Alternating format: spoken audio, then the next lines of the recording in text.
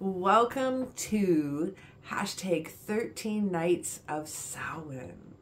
Welcome to Pagan Crafting. I'm your host, Cara. Join me today as I rock one of the questions for the 13 Nights of Samhain.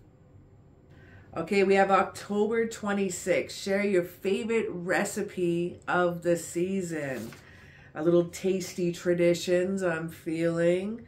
My favorite autumn recipe is going to be unveiled. My daughter says it's a little bit different every year, but I think that also depends on the pumpkin that I use as well.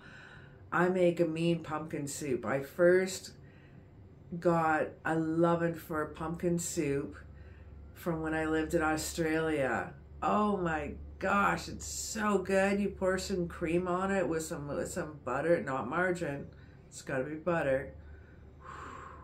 It's just a little piece of magical goodness right there. So today we're to get into some cooking witchery. So join me as I go into my kitchen and let's have some fun. So starting off with super easy ingredients, we got some rosemary, pumpkin pie spice, nutmeg, fresh ginger, garlic powder, garlic itself, onion, pumpkin, you want some butter and some cream and also some chicken soup broth. Starting off with one of the main ingredients, garlic. What we're going to do is we are going to peel a few cloves of garlic. I'm going to brown that with some butter and I'm also going to brown the onions too. These ones we're going to dice up quite a bit.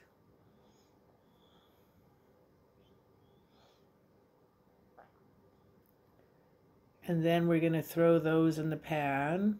And we're going to use let's say I don't know what whatever how much garlic you'd figure. If, if one clove is enough for you I did four. Now with the onion I'm not going to dice up the onion. I'm going to more cube it.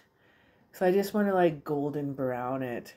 This is the only type of onion I happen to have in the fridge when I went looking but probably one of those golden onions would be really, really good. But a little bit of color is also nice.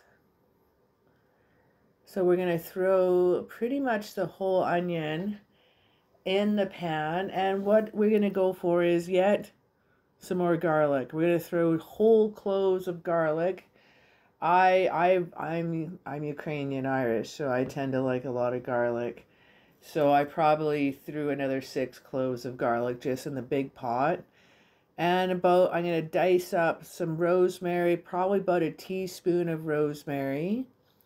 Using the small side of the grater, what I do is I freeze my ginger. When you freeze your ginger, you're gonna get this like oh, this beautiful powder and look at this it melts between your fingers and it is it just dissolves in the hot water beautifully. So may i suggest frozen garlic or frozen ginger to work with? Coming back to our pan we have a little bit of uh, browning to do here I have this on about a medium high temperature, watching it quite a bit. Now, while that's doing its thing, I'm going to open up this pumpkin here.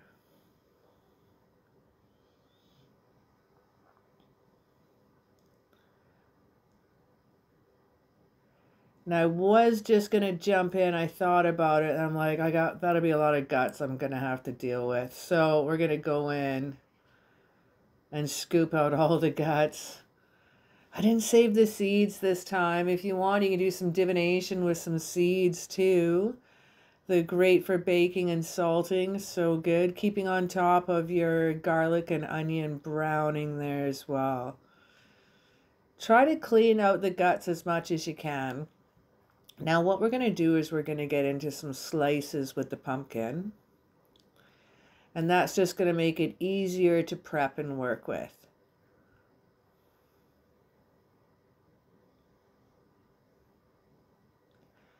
So we are going to demolish this whole pumpkin in this big spaghetti pot, but I'm just going to whittle it down a little bit as I go. Now you could use either potato peeler, which works super quick, or you can just use your knife as well. Cleaning off the insides and keeping the cubes quite large because they're going to cook down quite a bit.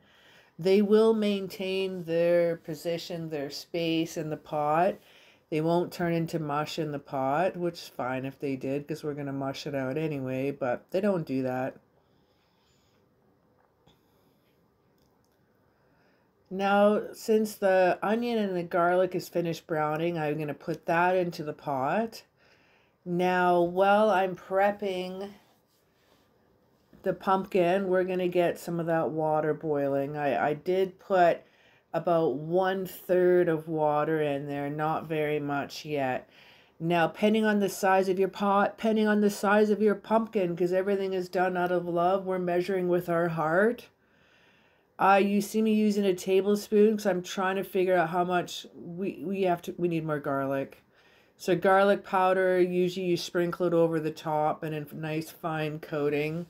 Using some nutmeg, again, I don't know how much I really ever put in. Let's let's go with like maybe I don't know, quarter teaspoon. Now this is a pumpkin spice. It's got cinnamon, nutmeg, ginger, and something else, probably cloves in there. I uh, I like a lot of this stuff, so I probably go with two tablespoons. There's a little bit. What you know? What just just gonna dump the rest of it in. It's we're measuring with our heart here, my friends. If you guys want a recipe, I can figure this out. Email me. My email is in the community, and I will come up with a recipe for you.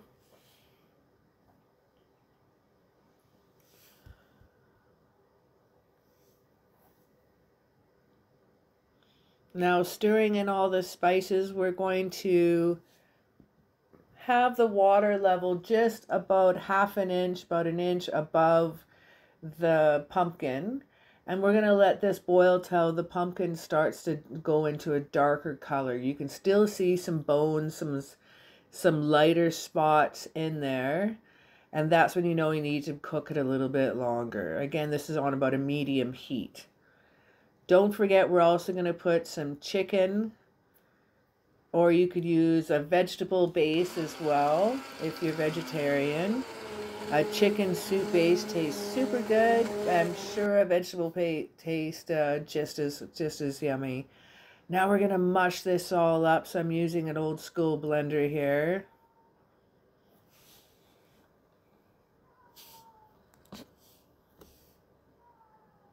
Now that that's all done, let us try some soup. It looks a little bit lighter because I did pour some cream on this and mix it in that I forgot. Let's throw it in the shot. So coming back again, little dollop of cream here.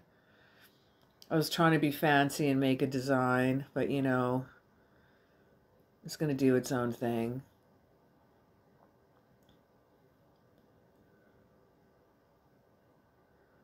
So fancy pants, my friend, we have pumpkin soup. Enjoy. If you want the recipe, give me a shout. Well, thank you for joining me for some cooking witchery, and I hope you try something that you've never tried before. Comment down below with a pumpkin if you've actually tried pumpkin soup. I uh, I would love to know because it's not.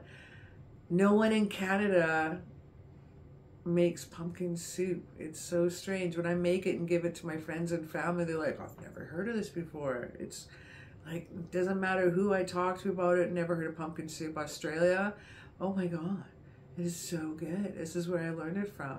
I had to come up with my own recipe and figure out how to make it, but I think I'm doing a little good. My daughter says I mix it up a little bit every year, but rosemary's my new magical herb. It's going in again this year.